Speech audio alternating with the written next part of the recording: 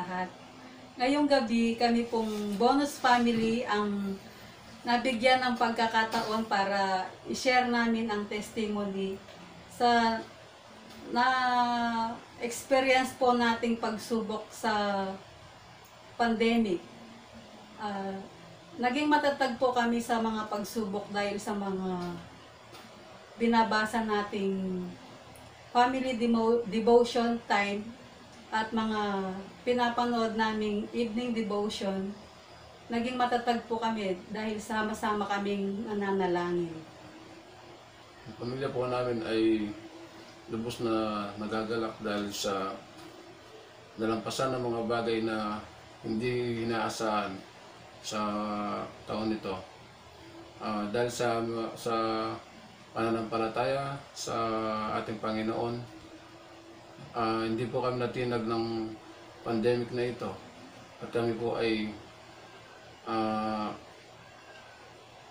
naging aral sa amin na sa araw-araw ng aming buhay ay kami po ay nag- nagsama-sama upang laging manalangin, magtipon at magbigay papuri sa Panginoon sa gitna ng mga kapagsubukan na dumating sa aming buhay. Ako po personally, ah, malaking tulong po sa isang pamilya yung pagkakaroon ng family devotion. Ah, hindi lang dahil sa mga word na na- nababasa.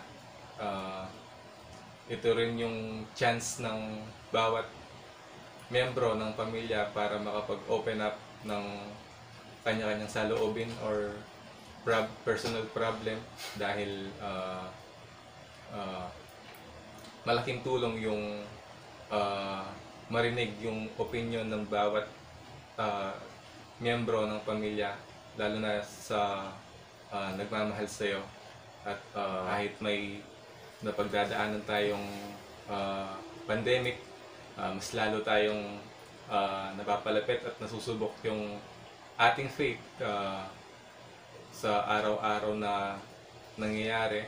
Ah, ayun nga, hindi hadlang yung ah, walang trabaho at ah, yung ah, nasa bahay ka lang para maging productive ka, kundi mas ah, mas opportunity yon para ah, ma- makapaglaan ka ng time sa sarili mo at, at, at kay Lord. ah, ayun. ah, kagaya nung ah, madalas na nababasa sa Facebook yung minsan lang mangyari yung nasa bahay ka lang at the same time nagiging hero ka. Ah, ayun, ah, ah, grateful kami, kaming family, ah, dahil ah, isa kami sa, sa napili ah, para mag-share ng testimony sa inyo. Um, ako naman, personally, nakikita ko yung dumating na pandemic as a parang gift, gift sa bawat isa para mas lalo nating makalala yung sarili natin, mas marami tayong ma-discover, at um, yun nga, mas maging deep pa yung relationship natin kay Lord. Kasi, di ba, sabi nga nila, kung nung mga nag, yung mga days na nag-aaral tayo, nakakagawa pa nga tayo ng, I mean, nakakapag-spend tayo ng time para makapag ah, bulay-bulay. What more pa kaya ngayon na nasa bahay tayo? And um, thankful din ako kay Lord kasi ginamit niya yung pandemic na to para maging close sa bawat isa yung pamilya at um, ginamit niya rin yung pandemic na to para um, makita namin or mas makilala yung bawat isa kung papaano yung kung papaano yung gagawin sa araw-araw upang maging productive. At um, nabigyan din ng time para kamustahin yung bawat isa sa mga past experiences na nangyari. And um, ayun nga, doon namin mas nakita kung papaano mag-behave or kung papaano gumalaw yung bawat isa sa loob at labas ng bahay. At dahil nasa loob tayo ng tahanan, mas nabibigyan ng pansin yung mga bagay na um, before hindi natin nagagawa. Katulad ng paglilinis ng kwarto, pagsasaayos ng mga appliances. Yun, no? dahil lahat kami, nasa loob kami ng bahay, isa yun sa mga ginawa namin para mag, mas maging productive yung araw namin. At um, sobrang sarap sa feeling na nakikita mo na yung bawat pamilya is nagtutulungan para mas maging maayos yung tahanan at mas maging maayos din yung spiritual relationship natin or ng bawat isa kay Lord. Ako po, unang-una, thankful ako sa mga ginagamit na tao ni Lord. And simula nung naging pandemic, ako po personally, ah, natutunan kong ma-overcome yung fear ko. Lalo na, proud po ako sabihin na isa po ako sa ginagamit ni Lord sa mga devotion, sa morning devotion. And thankful po ako sa mga ginagamit niyang tao dahil syempre sila yung napapanood natin. Sila yung ginagamit ni Lord para tumulong sa atin na mag-grow sa relationship kay Lord. And masasabi ko, masasabi ko din po na ah, napakalaking tulong ng family devotion dahil dito mo, dito mo mas nakikilala lalo yung pamilya mo. And sabi nga ng mga, etong mga family members ko, dito mo mas lalong nakikita kung ano talaga yung ah, ugali or dito mo mas nakikilala yung personality ng bawat isa. And masasabi ko din pong ginam- ginamit ni Lord tong pandemic para maging yung yung yung time ng bawat isa is maging mas makubuluhan and sobrang happy dahil kasama dahil nakikita kong sama-sama kami nag-grow sa relationship namin kay Lord. And isa din po naging experience namin sa family is yung nawalan ng trabaho si papa ko ng dalawang buwan but still si Lord never siya pumalya mag-provide sa amin. And at the same time, nakita namin yung kahalagahan ng pag-iipon dahil yung savings is yun yung ginamit niya para para maka, maka, makakain kami araw-araw. And at the same time, hindi rin ginamit ni Lord na kumbaga hindi niya ginawang problema yun sa amin na dibdibin namin ganon kundi ginamit niyang rason yun para maging matatag kami lalo at magdepende sa mga plano niya. Inaanyayahan ko po ang bawat isa na sumabay sa ihahandog naming awitin and I declare that this will be the prayer of our hearts every time na may darating na unos or um, every time na ba- may darating na problema sa bawat pamilya or sa bawat isa. Sabay-sabay po nating awitin ang Standing on the Promises. Magtiwala sa pangako ni Kristo, magpakailanman siya ay papurihan. Luwalhati ang ating aawitin, magtiwala sa Diyos tuwi na. Magtiwala sa pangako ng ating Diyos, magtiwala, magtiwala. Ako'y tiwala sa pangako niya. Manindigan sa tapat niyang pangako.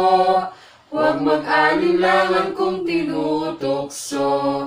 Sa banal na salita manalig ka. Magtiwala sa pangako niya. Magtiwala sa pangako ng ating Diyos magtiwala, magtiwala. Ako'y tiwala sa pangako niya.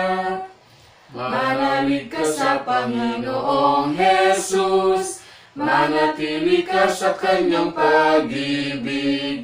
Sa Espiritu niya ay may tagumpay, sa Diyos ka magtiwalang lubos.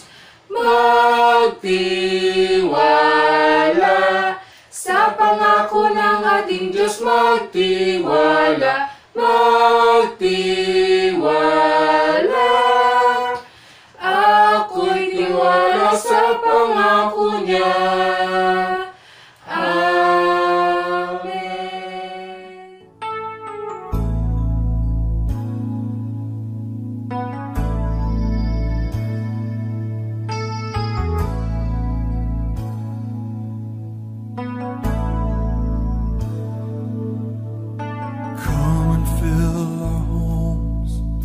Your presence.